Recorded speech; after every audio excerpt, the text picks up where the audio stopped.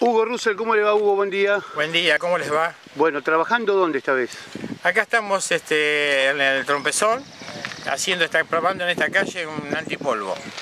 ¿Qué significa eso? Es, es para no regar después.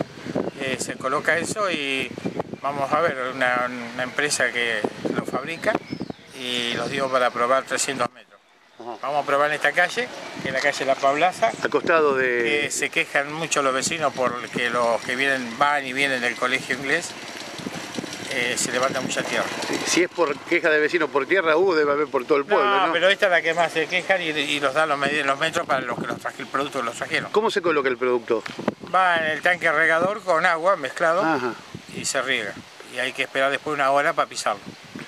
¿Y eso, Hugo, eh, se hace cada vez que pasa el regador? No, no se pasa mal regador. O sea- Según, la- según esta gente, por un año y medio. Yo me conformaría que sea un año. Sí, con me- o medio año, por lo menos que dure la temporada de calor, ¿no? Claro.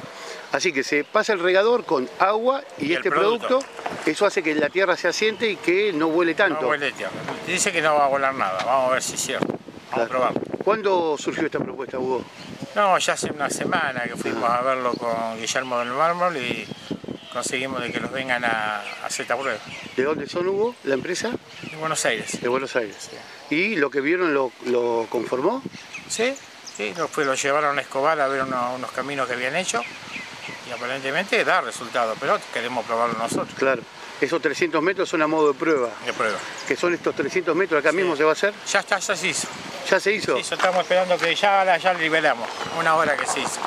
Está bien. Bueno, es eh, sencillo entonces, ¿no? Eh, Pasar el regador, Sí, ¿no? sí, vamos a ver después y lo, y lo que vale después. Vamos a ver cuando. Claro, a no hablar de eso No, todavía. no, no. Pues yo vamos a probarlo, después vamos a conversar. Bueno, pero si da resultado hay eh, un ahorro importante. Sí, de regador. Claro, Personal, camiones, este, gasoil. claro. Y además eh, el regador pasa sin este producto, eh, mientras está todo mojado aguanta, pero después eh, a la hora cuando las Sí, vos fíjate que yo altas- hace una hora que lo regué a este quedó mojado, mojado, mirá cómo está ya. Justo una hora. justo una hora. On- Sí, 10 y 5, 11 y 5. Una hora. Bueno, esperemos que dé resultado, Hugo. Esperemos que sí. Esa De- es la, la- la suerte de lo que queremos, de que sea, que sea así. Hugo, ¿cuándo se abre la avenida Rivadavia hasta el circunvalación? Y me está frenando el tiempo a mí porque ya tendría que estar abierto. Pero antes de fin de año va a estar abierto. ¿Sí? Sí. ¿El barrio Los Milagros fa- falta mucho? No, Bar- Barrio Los Mineros estaría terminando hoy lo que es todo lo que es cordón. Todo alrededor de la plaza, todo. ¿Qué quedaría después? Me queda hacer los dos badenes que son los que van a ir al estacionamiento Sí. y un badén más en una boca calle. Bueno, no es tanto Y tampoco. después ya hacer el copá. No es tanto lo que Ya queda. está con el entoscado, ya se va dejando terminadas las calles. Al final quedó más ancho de lo que parecía, ¿eh? Quedó hermoso. Sí.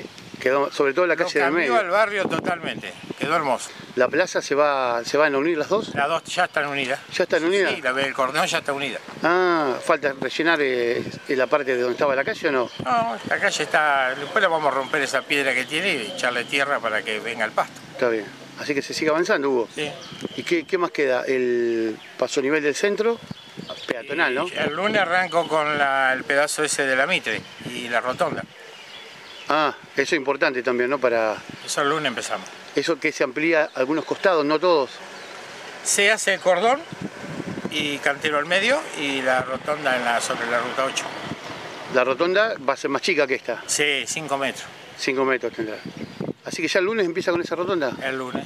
En 10 días tiene que estar Qué terminado. guay. Bueno, sigue creciendo la ciudad y siendo cada vez más linda, ¿no? Sí, cada vez está más lindo. Nos contaba el intendente que la idea es poner un mástil con la bandera bonaerense. Ah, pero eso ya en la- llegando a la autopista. Exacto. Al lado del puente. Exacto. Hay que conseguir alguna donación, alguien que done un mástil, Hugo, que debe tener su costo también, me Sí, imagino. sí, pero lo vamos, lo vamos a hacer. Ya está Se va a hacer. prometido, se va a hacer. Está bien.